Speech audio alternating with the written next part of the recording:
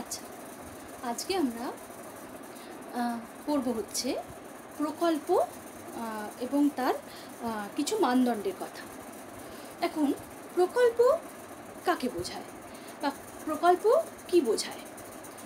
প্রকল্প হলো ধরা যাক আমি কোনো দুটো বিষয়ের মধ্যে কার্যকারণ সম্বন্ধ নির্ণয় করতে যাচ্ছি, কিন্তু আমরা একটি বিষয়কে আর একটি বিষয়ের কারণ বলে ঠিক মতন করে তখনও নির্ণয় করতে পারিনি। সেই বিষয়কে নির্ণয় করার জন্য আমাকে কি করতে হচ্ছে না, কতকগুলি প্রকল্প গঠন করতে হচ্ছে এবং ধরে নিতে হচ্ছে যে হয়তো এই বিষয়টি ওই বিষয়ের কারণ হতে পারে। তাহলে সেই বিষয়টিকেই বলা হচ্ছে বা সেই বিষয়গুলিকেই বলা হচ্ছে প্রকল্প। এখন এই প্রকল্প বৈজ্ঞানিকও হতে পারে, অবৈজ্ঞানিকও হতে পারে। যে প্রকল্পের ব্যাখ্যা ক্ষমতা যত বেশি, যে প্রকল্প যত বেশি উর্বর সেই প্রকল্পই হচ্ছে বৈজ্ঞানিক প্রকল্প। এবং যে প্রকল্পের ব্যাখ্যা ক্ষমতা নেই এবং যে প্রকল্প অনুর্বর, সেই প্রকল্পই হচ্ছে অবৈজ্ঞানিক প্রকল্প। তার মানে বোঝাই গেল যে বিজ্ঞানের কাজে বা যে কোনো অনুসন্ধানের কাজে আমার প্রকল্প ভীষণভাবে জরুরি। কারণ কোনো ঘটনা, ঘটনার প্রাথমিক অনুমান, প্রকল্প হচ্ছে কোনো দুটো ঘটনার মধ্যে কার্যকারণ সম্পর্ক নির্ণয়ের ক্ষেত্রে প্রকল্প কী করেন? একটা প্রাথমিক অনুমান, একটা প্রাথমিক অনুমান দেয় আমাদের যে এই ঘটনাটা ওই ঘটনার কারণ হতে পারে বা ওই ঘটনাটা এই ঘটনার কার্য হতে পারে। এইরূপ একটা প্রাথমিক অনুমান গঠন করতে আমাদের প্রকল্প সাহায্য করে। ফলে প্রকল্প ভীষণভাবেই গুরুত্বপূর্ণ যে কোনো বৈজ্ঞানিক আবিষ্কারের ক্ষেত্রে বা যে কোনো ডাক্তারি আবিষ্কারের ক্ষেত্রে। এখন দেখা যাক প্রকল্প নির্ণয়ের মানদণ্ডগুলো কি কি। এখন প্রথম মানদণ্ড কিন্তু আমরা বলতে পারি যে প্রকল্পকে কি হতে হবে না প্রাসঙ্গিক হতে হবে। প্রাসঙ্গিক হতে হবে মানে কি? প্রাসঙ্গিক হতে হবে এই কথার অর্থ হচ্ছে যে প্রকল্প, একটা একটা প্রকল্পকে সবসময় কি হতে হবে না সেটা কি হতে হবে হচ্ছে যে মানে কোনো একটা জিনিসকে ব্যাখ্যা করার ক্ষেত্রে সে যেন প্রাসঙ্গিক সে যেন প্রাসঙ্গিক বিষয়ের দ্বারাই সেই জিনিসটিকে ব্যাখ্যা করে, কোনো অপ্রাসঙ্গিক বা কোনো অলৌকিক বিষয়ের দ্বারা সেই বিষয়টিকে ব্যাখ্যা না করে। অর্থাৎ তার যেন একটা বৈজ্ঞানিক ভিত্তি থাকে। যেমন মনে করা হলো যে, আমার ঘরের পাইপটি ফেটে গেছে। মনে করা যাক আমি খুব শীতের দেশে থাকি যেখানে পাইপের মধ্যে খুব তাড়াতাড়ি বরফ জমে যায় এবং জল বরফে পরিণত হয়ে যায় এবং এইগুলো আমরা জানি এবং এবং মনে করা যাক যে আমার ঘরে পাইপটি ফেটে গেছে। এখন এই বিষয়টিকে ব্যাখ্যার জন্য আমি যদি এইভাবে বলি যে আমার ঘরের পাইপ ফেটে গেছে তার কারণ হলো আমার ঘরের পাইপের ভেতরে বরফ জমে গেছে বরফ জমে গিয়ে সেটা আয়তনে আহ, বেড়ে গেছে এবং সেটা পাইপের ওপর চাপ দিয়েছে, তার ফলে পাইপটি ফেটে গেছে। তাহলে আমার মনে মনে হয় যে এই বিষয়টি অনেক বেশি যুক্তিগ্রাহ্য হবে এবং এই বিষয়ে অনেক বেশি প্রাসঙ্গিকতা থাকবে এবং এই বিষয়ে বৈজ্ঞানিক প্রকল্পরূপেই গ্রাহ্য হবে। কিন্তু যদি আমি বলি যে আমার গৃহদেবতা ভীষণভাবে রেগে গেছেন, রুষ্ট হয়েছেন বলে আমার ঘরের পাইপটি ফেটে গেছে, কিংবা পাইপের মধ্যে কোনো ভূত ঢুকেছে বলে আমার পাইপটি ফেটে গেছে, এই ধরনের প্রকল্প এক- একেবারেই গ্রহণযোগ্য হবে না, কারণ এই ধরনের বিষয়ের কোনো প্রাসঙ্গিকতা নেই বা এই ধরনের বিষয়, বিষয়কে আমি কী করছি না, অলৌকিক বিষয়ের দ্বারা ব্যাখ্যা করার চেষ্টা করছি যে বিষয়, যে অলৌকিক বিষয়ের আবার কোনো বিষয়কে প্রমাণ করার জন্য কোনো প্রামাণ্য যুক্তি নেই। ফলে আমি এই ধরনের কোনো বিষয়ের দ্বারা আমার আমার কোনো বিষয়কে আমি ব্যাখ্যা করতে পারি না বা যদি ব্যাখ্যা করি তাহলে সেই ব্যাখ্যা আমার গ্রাহ্য হবে না। ফলে আমাকে কি করতে হবে? প্রকল্পের ক্ষেত্রে দেখতে হবে যে সেই প্রকল্প কতটা বেশি প্রাসঙ্গিক হচ্ছে। আচ্ছা এরপরে কি? এরপরে আমরা দেখব যে প্রকল্পের প্রকল্প হতে গেলে সেটা কি কি হতে হবে না? সেটাকে যাচাইযোগ্য হতে হবে। এখন যাচাইযোগ্য অর্থাৎ যাচাইযোগ্য কথাটা হলো যে মনে করা যাক যে আমি দুটো প্রকল্প নিলাম একই জিনিসকে ব্যাখ্যা করার জন্য। সেই প্রকল্পটা কি? না, একটা প্রকল্প হচ্ছে এইচ এফ প্রকল্প আর একটা প্রকল্প হচ্ছে যে এইচ একটা হচ্ছে এইচ এফ প্রকল্প আর একটা প্রকল্প মনে করা যাক যে এইচ এইচ সি প্রকল্প। এখন এইচ এফ প্রকল্পটা হচ্ছে যে তাতে বলা হচ্ছে কি না, পৃথিবী হচ্ছে পৃথিবী হচ্ছে আমার ফ্ল্যাট বা পৃথিবী হচ্ছে আমার পৃথিবীর পৃথিবী গোলাকার নয়, পৃথিবী হচ্ছে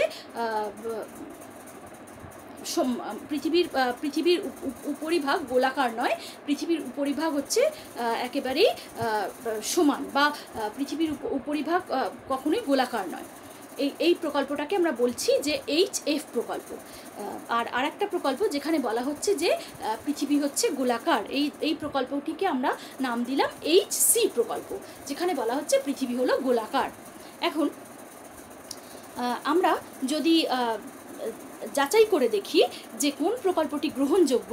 এখন আমরা দেখলাম যে পৃথিবী যেখানে ফ্ল্যাট বলা হচ্ছে বা পৃথিবী যেখানে সমতল সমান বলা হচ্ছে বা পৃথিবীর উপরিভাগ যেখানে মানে সমান বলা হচ্ছে বা পৃথিবীর উপ- উপরিভাগকে যেখানে ফ্ল্যাট বলা হচ্ছে, এই প্রকল্প থেকে যে অনুকল্পটা নিঃসৃত হয় তা হচ্ছে কি, না যে একটা জাহাজ যখন আমার সমুদ্র সমুদ্রের সমুদ্রে যখন একটা জাহাজ আমার চোখের সামনে থেকে যখন দূরে চলে যায়, তখন সেই জাহাজের আমি সম্পূর্ণ মনে করা যাক যে সেই সেই জাহাজ একটা জাহাজ আমার চোখের সামনে থেকে দূরে চলে গেল। কিন্তু সেই জাহাজের এইচ এফ প্রকল্প অনুযায়ী সেই জাহাজের তাহলে আমি সম্পূর্ণটাই দেখতে পাবো। অর্থাৎ সেই জাহাজের উপরিভাগ থেকে নিম্নভাগ অবধি সম্পূর্ণ, সম্পূর্ণটাই দেখতে পাবো। অর্থাৎ তার মাস্তুল শীর্ষ থেকে তার নিম্নভাগ অবধি সম্পূর্ণটাই দেখতে পাবো। সে যখন আমার চোখের সামনে থেকে দূরে সরে যাচ্ছে যদি এইচ এফ প্রকল্প সত্য হয় তবেই।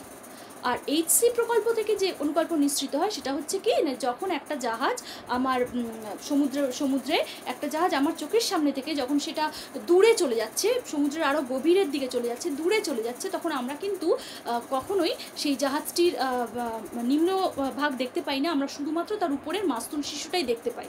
ফলে এক্ষেত্রে কি হচ্ছে, এক্ষেত্রে এক্ষেত্রে কি হচ্ছে না এক্ষেত্রে এর দ্বারা বোঝা যাচ্ছে যে পৃথিবী কিন্তু গোলাকার, কারণ একটা জাহাজ আমার চোখের সামনে থেকে যখন দূরে সরে যাচ্ছে তখন কিন্তু শুধুমাত্র তার মাস্তুল শিশুটাই দেখতে পাচ্ছি কিন্তু তার নিম্নভাগটা দেখতে পাচ্ছি না। ফলে এই প্রকল্পটা অনেক বেশি গ্রহণযোগ্য, কারণ এইটা একেবারেই যাচাই করে দেখা যায় যে এই প্রকল্পটাই ঠিক এবং এবং এই প্রকল্পটাই তখন ভীষণভাবে গ্রহণযোগ্য হয়। কারণ যাচাইযোগ্যতা যে কোনো প্রকল্পের গ্রহণযোগ্যতার ক্ষেত্রে বিশেষভাবে গুরুত্বপূর্ণ ভূমিকা পালন করে।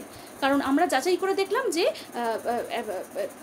আগের প্রকল্প অর্থাৎ এইচ এফ প্রকল্প সেটা কিন্তু কখনোই ঠিক নয়। কারণ একটা জাহাজ যখন আমার চোখের সামনে থেকে দূরে চলে যায়, আমার সমুদ্রপৃষ্ঠ সমুদ্রের উপরিভাগ থেকে যখন সে একটা জাহাজ আমার চোখের সামনে থেকে দূরে সরে যায়, তখন কিন্তু আমরা এমন নয় যে কখনোই আমরা তার সম্পূর্ণ অংশটাই দেখতে পাই বা আমরা তার উপরিভাগ থেকে নিম্নভাগ অবধি সম্পূর্ণটাই দেখতে পাই যতই আমার চোখের সামনে থেকে সে দূর থেকে দূরে চলে যায়। এটা কখনোই সত্য নয়। ফলে যাচাই করে দেখা গেল, দ্বিতীয় প্রকল্পটাই সত্য অর্থাৎ এইচসি প্রকল্পই সত্য।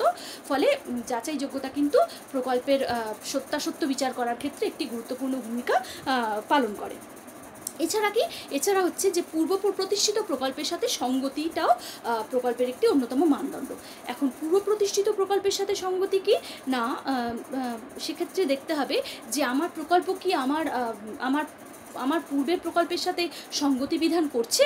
অর্থাৎ যেমন মনে করা যাক যে, যেটা আমি পরিশেষ পদ্ধতির উদাহরণে বলেছিলাম যে, বিজ্ঞানী লাভেরিয়ার কি করলেন? তিনি নেপচুন নামক গ্রহর আবিষ্কার করলেন এবং সেটা কীভাবে করলেন? না, তিনি দেখালেন যে ইউরেনাস গ্রহের কক্ষচ্যুতি ঘটছে এবং ইউরেনাস গ্রহের গাণিতিক গাণিতিক মানে গণিতের যে কক্ষপথ এবং তার প্রকৃত পর্যবেক্ষণলব্ধ যে কক্ষপথ, এই দুই এই দুই কক্ষপথ এর মধ্যে কিন্তু পার্থক্য রয়েছে। অর্থাৎ গাণিতিক কক্ষপথ এবং পর্যবেক্ষণলব্ধ কক্ষপথের মধ্যে কিছু পার্থক্য রয়েছে এবং সেই পার্থক্যের দ্বারা তিনি আরও অনুসন্ধান করলেন এবং জানলেন যে ইউরেনাস গ্রহের কিন্তু কক্ষচ্যুতি ঘটছে এবং সেই কক্ষচ্যুতির কারণ আবিষ্কৃত হলো পরবর্তীকালে সেটা কি না, সেটা নেপচুন নামক গ্রহের আকর্ষণের কারণে ইউরেনাস গ্রহের কক্ষচ্যুতি ঘটছিল। ফলে গাণিতিক কক্ষপথের সাথে তার পর্যবেক্ষণলব্ধ কক্ষপথের কিন্তু কোনো মিল ছিল না। এইভাবে লাভেরিয়ার যে, বিজ্ঞানী লাভেরিয়ার যে ইউরেনাস গ্রহের কক্ষচ্যুতির কারণ হিসাবে নেপচুন গ্রহকে তিনি আবিষ্কার করলেন, এই নেপচুন গ্রহের আবিষ্কারটা কিন্তু আসলে পূর্ব পূর্ব জ্যোতির্বিজ্ঞানের অন্যান্য আবিষ্কারের সাথে সঙ্গতিপূর্ণ। ফলে, এই ফলে আমাকে দেখতে হবে যে, আমার প্রকল্পটি কি কি আমার পূর্বপূর্ব অন্যান্য বৈজ্ঞানিক প্রকল্পের সঙ্গে সঙ্গতিপূর্ণ কি নয়? তো আমি এখানে দেখলাম আমার প্রকল্পটি অন্যান্য প্রকল্পের সাথে সঙ্গতিপূর্ণ। ফলে এইটাও কিন্তু প্রকল্প নির্ধারণের একটি মানদণ্ড হিসাবে গণ্য হবে। তাহলে আমরা কি কি আপাতত কি কি পেলাম? এক নম্বর পেলাম হচ্ছে প্রাসঙ্গিকতা, কারণ প্রকল্পকে কি হতে হবে না? ভীষণভাবে প্রাসঙ্গিক হতে হবে। আর একটা কি পেলাম? আর একটা পেলাম হচ্ছে যাচাইযোগ্যতা আর একটা পেলাম হচ্ছে পূর্ব প্রতিষ্ঠিত প্রকল্পের সঙ্গে সঙ্গতি। আচ্ছা। এছাড়াও কি? এছাড়াও রয়েছে হচ্ছে ভবিষ্যৎবাদিতা বা ব্যাখ্যা ক্ষমতা এবং আর একটা হচ্ছে সরলতা।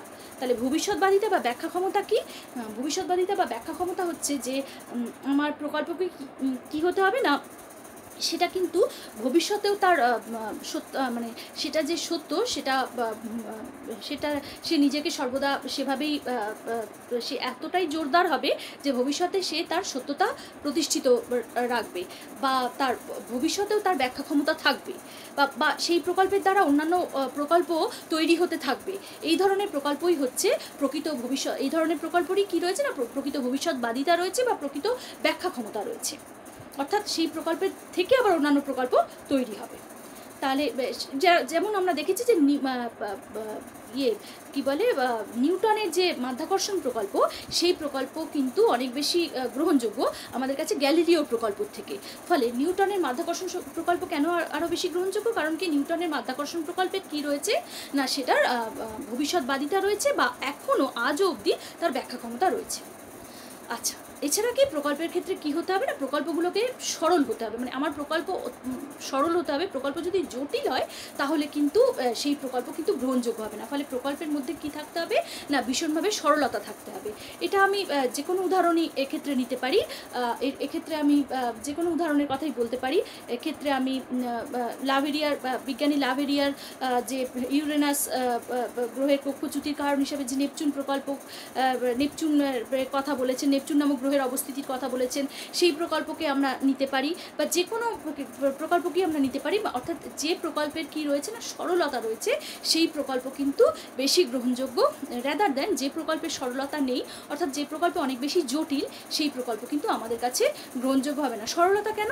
কারণ কি সে তার প্রত্যেকটা ধাপ পরস্পর পরস্পর, পরস্পরের সাথে পরস্পর, পরস্পরের সাথে যৌক্তিক সম্বন্ধে আবদ্ধ হবে এবং প্রত্যেকটা ধাপকে আমরা বুঝতে পারব অত্যন্ত সরলভাবে।